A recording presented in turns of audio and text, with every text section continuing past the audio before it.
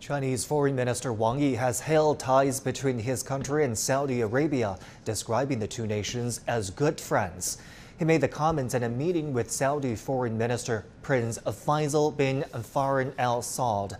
They met on the sidelines of a foreign ministers summit of the Organization of Islamic Cooperation in Pakistan. Wang also said there is mutual trust between China and Saudi Arabia, and both sides support each other in safeguarding their respective core interests. Faisal thanked China for supporting Saudi Arabia's development and expressed hope that the two countries can enhance cooperation in all fields.